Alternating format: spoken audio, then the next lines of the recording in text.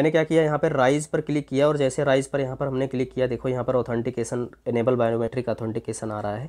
मैंने यहाँ पर बायोमेट्रिक यहाँ पर ऐसे लगा दिया और जैसे मैंने लगाया, यहाँ पर देखो आई अंडरस्टैंड आ रहा है, मैंने इसको आई अंडरस्टैंड पे क्लिक कर दिया, ठीक? देखो, इसके अपडेट के बारे में अगर मैं आपको बात करूँ तो सबसे पहले देखो मैं होम पर क्लिक किया। होम पर गया मैं। जैसे होम पर गया मैं होम पर क्लिक करने के बाद में देखो, सबसे टॉप पे क्या आ रहा है? सबसे टॉप पर आ रहा है इन्वेस्ट ठीक है? इन्वेस्ट आ रहा है। इन्वेस्ट के बाद में आपको क्या आ रहा है? ट्रेड आ रहा है। अगर आपको कुछ इन्वेस्टमेंट करना है, इसका मतलब क्या हुआ कि अगर आपको कुछ इन्वेस्टमेंट करना है तो आपको इन्वेस्ट पे क्लिक करना है। लेकिन अगर आपको ट्रेडिंग करनी है, जैसे निफ्टी में, बैंक निफ्टी में, ऑप्शन ट्रेडिंग में, स्टॉक ट्रेडिंग में, फ्यूचर ट्रेडिंग करना है, अगर आपको कुछ ऐसा करना है तो डेरिवेटिव ट्रेडिंग जिसे बोलते हैं, अगर आपको करना है तो आप ट्रेड पे क्लिक करोगे।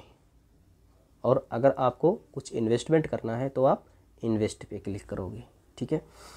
मैं क्या करता हूँ कि मैं इसके पहले थोड़ा सा मैं आपको बता देता हूँ। देखो, पहले क्या था कि एमओ इन्वेस्टर में क्या था पहले कि कोई भी चीज़ हमको देखने के लिए ना अंदर में जा कर के काफ़ी अंदर में जा कर के हमको देखना होता था। वो हमको पता भी नहीं चलता था कि हमको कहाँ पर जाना है और कहाँ पर ये ऑप्शन मिलेगा। लेकिन अभी इसमें क्या हो गया है, देखो कमोडिटी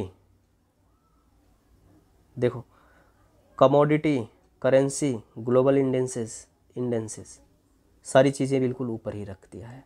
नंबर एक, नंबर दो, निफ्टी, बैंक निफ्टी, और अगर आपको और भी कुछ ऐड करना है तो उसके लिए यहाँ पर एडिट का ऑप्शन है यहाँ पर। एडिट इंडेंसेज आ रहा है, यहाँ पर देखो, इसके, इस पर क्लिक करके आपको यहाँ से निफ्टी और बैंक निफ्टी की जगह कुछ और लगाना है तो वो भी लगा सकते हो। ठीक है?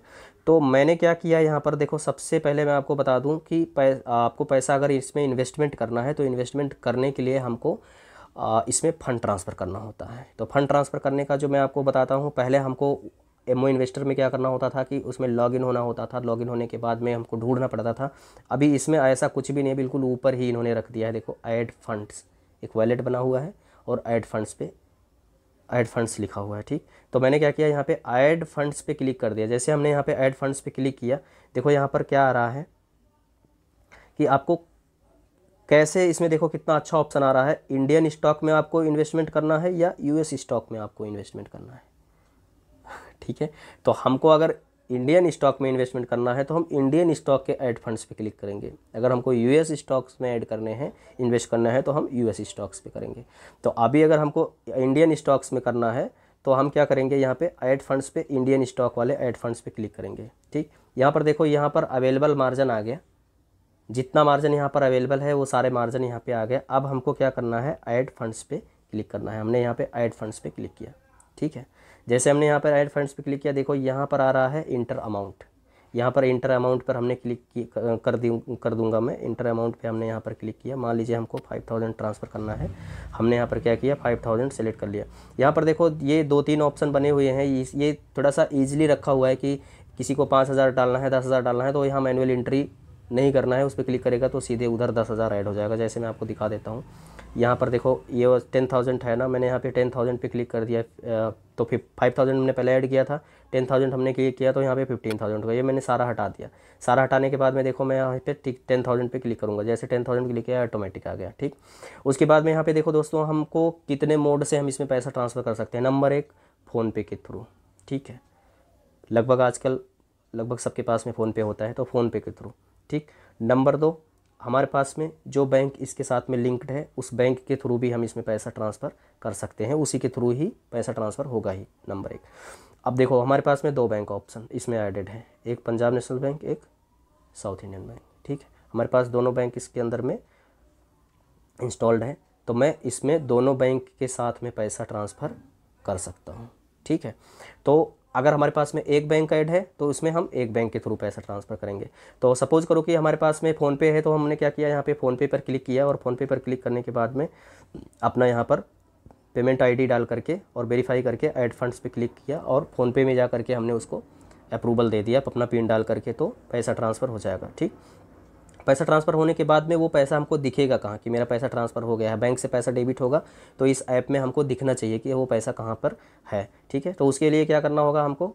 यहीं पर जाना होगा, कहीं नहीं जाना है, बिल्कुल वहीं पर उसी ऑप्शन में ही जा करके देखो, यहाँ पे ऐड फंड्स है, ये ऐड फंड्स है, यहाँ पे हम जाएँगे और यहाँ पर ऐड फंड्स पे जैसे हमने क्लिक किया, देखो यहाँ पर इंडियन स्टॉक वही आ रहा है तो हमने क्या किया, ऐड फंड्स पे हमने क्लिक किया। जैसे यहाँ पर क्लिक किया ना, देखो यहाँ पर अवेलेबल मार्जिन आ रहा है और अवेलेबल फंड्स में देखो ये आ रहा है फंड्स एडेड टुडे इसमें हमने क्या किया है? अभी ज़ीरो फंड्स ऐड किया है। कोई फंड्स हमने नहीं ऐड किया है तो इसलिए यहाँ पर ज़ीरो आ रहा है, ठीक है?